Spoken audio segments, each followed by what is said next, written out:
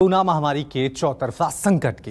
Corona सिर्फ़ virus की शक्ल में हमारा शिकार नहीं कर रहा, बल्कि कोरोना का संकट हमारी ज़िंदगी के हर सफ़र पर मौत बनकर खड़ा है। कोरोना ने वार किया तो दिल्ली में लॉकडाउन लगा। पलायन शुरू खुद को बाहर निकाला, फिर अपनों को बाहर निकाला। जिसने भी ये मंजर देखा, उसके रोंगटे खड़े हो गए। मुँह से बस यही निकला, काश ये क्या हो गया।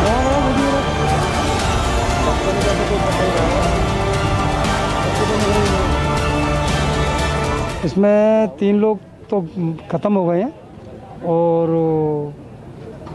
पाँच सात लोग घायल हैं। ये लोग, ये बस आगरा से की तरफ़ से आ रही थी और इधर टीकमगढ़ से आ रही थी। तो उसमें यहाँ तेज़ी और लापरवाही से चलाकर गाड़ी पलट गई है और उसमें से कुल घायल। दिल्ली में लॉकडाउन लगा तो हज़ारों की तादाद में प्रवासी मजदूर अपने अपने घरों को लौटने लगे।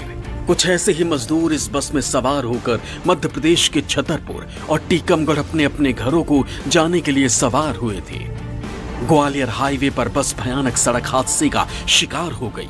वजह चाहे जो भी रही हो, लेकिन बस पूरी तरह पलट गई। इसके बाद हर तरफ़ अफरा तफरी मच गई। कुछ लोगों ने हादसे में दम तोड़ दिया तो बाकी बचे लोगों ने किसी तरह पलटी बस से खिड़की के ज़रिए खुद को बाहर निकाला।